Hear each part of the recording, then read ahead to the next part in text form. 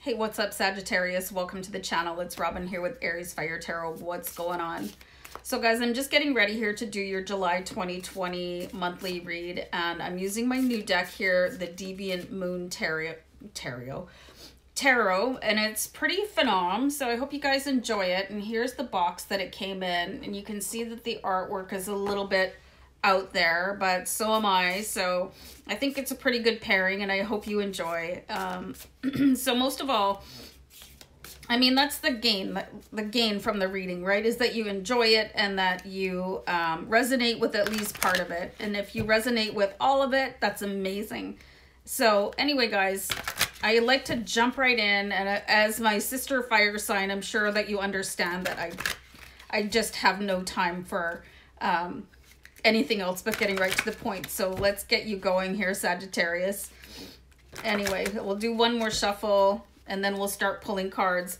So I'm doing an intuitive read, so I'm just going to call out the cards here and then build your story from them. See what Spirit has to say for July 2020 for Sagittarius. Let's get it cracking.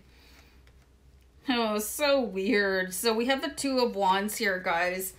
So check out the artwork. Really super bizarro um, two of wands, somewhere to go, but something to be picked up also from the look of this super weird.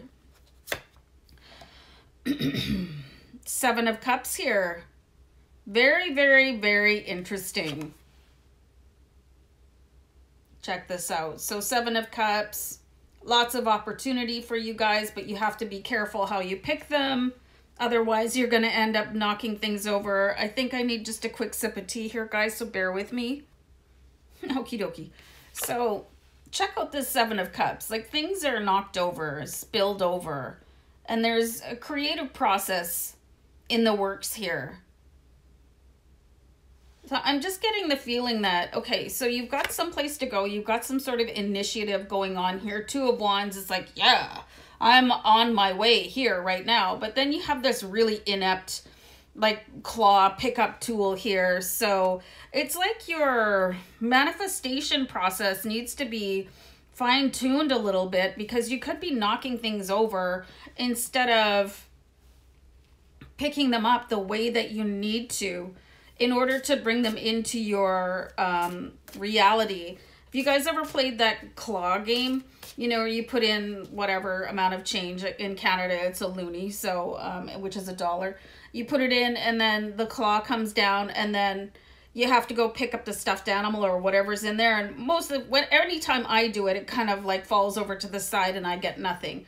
Um, so I'm gonna keep shuffling. So my son, every time he plays that game, um, he gets a stuffed animal every time. So it's just in the way that you're holding the joystick, in the way that you're holding the claw. There's some sort of refinement that needs to be happening here because Seven of Cups talks about everything that's available to you, all of your options, everything that is sitting in your source. Um, sorry. Um, oh, there we go and uh, yeah, you could be knocking things over instead of picking them up. And this is not the desired result of manifesting. So let's keep on going here. Got the world card. So you guys are almost at the end of a cycle. You know, the world card is finishing up some sort of... I'm getting words like ineptitude, bumbling, you know, and don't take that as an insult, you guys, because there could have been something that you really just floundered through. It's like, oh boy, wow, you know, well, that sucked. Or, you know, just lived in some crappy location, or you had a relationship that was really horrible, or, you know, not the best job, or whatever. Something was like, I don't know who dreamed this up for me. So it's almost at an end here with the world card. So you just have to keep on going. And this sort of like bobbling the ball is happening as a result of this cycle that you're in that you're not really having such a great time at. But, you know, the good news is the silver lining is it's almost over so with that ending, you should be able to get yourself a new new tool to pick something up with because this is a little bit, let's say, archaic. And I just had a card go flying out of the deck, so excuse me. What? Oh, God. Anyway, so here we've got the King of Cups. So King of Cups is talking about like be creative, you know, think of different ways of doing things and use your emotions as a guiding light on how to get things. And this is the the probably maybe could be the missing element for you guys in your manifestation process. Like how do you feel about things? Do you feel like you're 100% able to do something? Do you deserve something? Um you know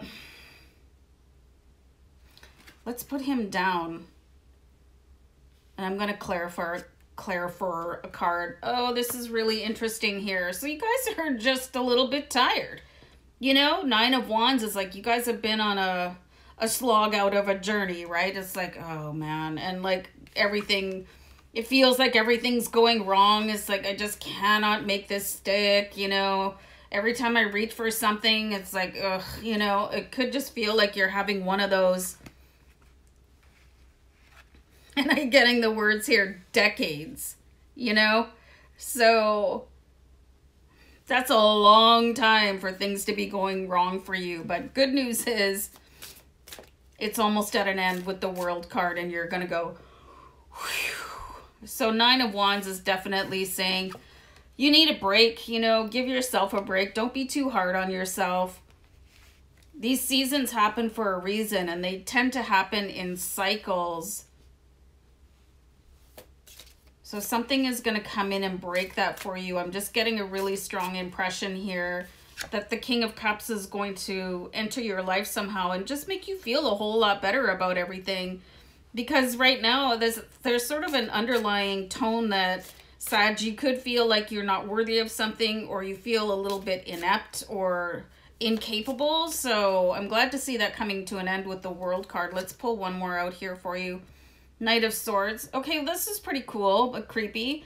So this just really talks about the pregnant pause, like the bubble bursting and being able to move forward. So um, it's kind of like you guys have been in the starter blocks and then like getting all these false starts and you're like, oh, enough. Like, let me run the race, right? I need to be able to run this race. I'm not where I'm at right now. I'm feeling a little bit um, less than which, you know, Sagittarius should never feel that because as a fire sign, like, hello, you know, you should be on top of the world instead of just crawling across the finish line, collapsing, like, oh, you know, somebody get me a beverage.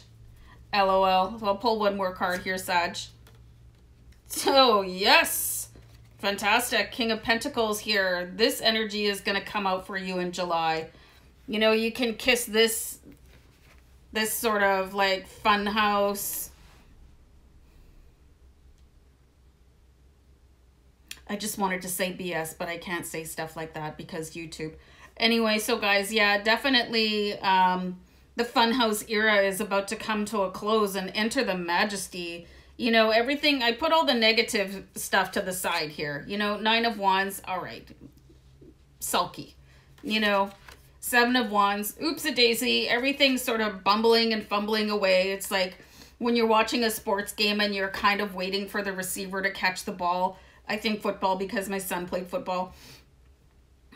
You know, and they're running and running and then they just, whoa, whoa, whoa, you know, and this is kind of what I feel like the past little while has been like for you guys and it it could be like like I said before it could be like a decade decade long but it's coming to an end. And then well, I've got all everything over here. Yeah it's coming to an end. A sense of accomplishment. You're going to know when the sun comes out from behind the clouds. It's going to feel completely different with the king of cups. The energy is going to change for you. The bubble will burst and you're going to be able to you know, you feel a palpable change in the energy around you. And then the King of Pentacles comes in, and the King of Pentacles is like, okay, you know, that's enough of what was going on over here. I would like to have a little bit more money, please. I have a castle to furnish. I have all these dependents with the pentacles here. Have you seen these guys eat? You know, so you're really going to be able to come into this new age of having the abundance that you deserve. And that's the key thing. You know, you deserve it no matter what happened in the past. it's available to you. Like everything is here for you. It's written already for you, Sagittarius.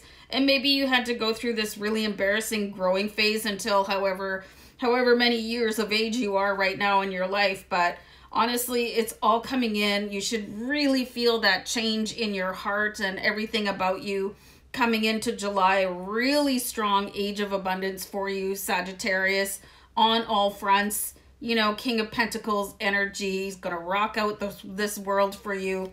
This world is going to end. Brand new age coming in for you, Sag. I love this reading for you, and I hope you did too. Thanks. Take care. Bye.